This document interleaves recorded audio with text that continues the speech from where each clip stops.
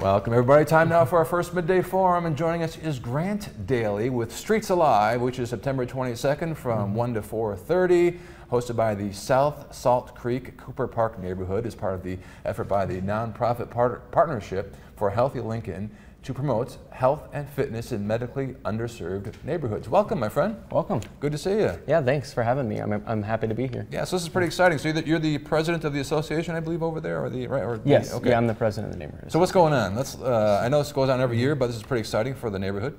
So this is um, kind of a, a day of play for all of, of Lincoln's families and residents, and we're just happy to have it in one of Lincoln's most historic neighborhoods. Yeah. Um, it's more that you know the park's 160 some years old. So yeah, no, Cooper Park. Yes, yeah. that's Oh, correct. it's a great, great facility. Um, what I like about it is they have lots of shade over there. You know, Absolutely, The big beautiful old trees, yeah. Sure, Uh, but the the uh, as I understand it, in some.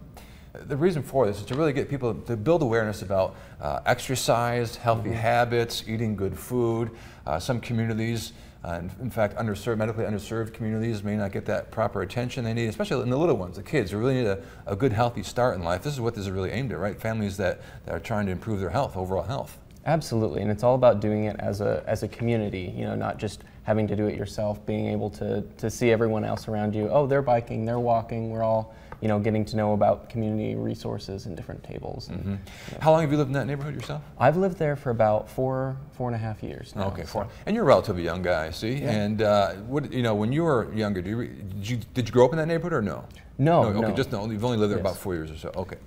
Um, and it's, you can't under, you can't overstate the importance of having a healthy childhood.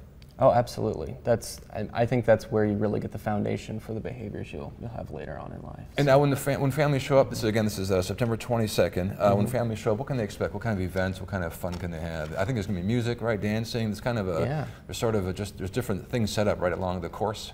Yeah, there's there's music, dancing. There'll be um, different some, there's some inflatables stuff up there, Yep. by the way, from previous years. Um, a lot of different performances. Um, there'll be different stations. There's always interesting new types of events and free bottled water along the route too. So. Great dancing, pa- uh, face painting. Every kid loves face painting, right? Right. Uh, and there's the bounce house. I don't think adults can go in there too bad, but uh, you know maybe they can make a just an exception this year for lots of dancing, uh, cultural activities, jumping jacks, exercise. You know, and, uh, as I understand, uh, this is also an effort to curb obesity. You know, we have a lot of we have a big o- obesity epidemic in this country, uh, kids and adults. Um, hopefully, this is something that will help steer kids in the right direction.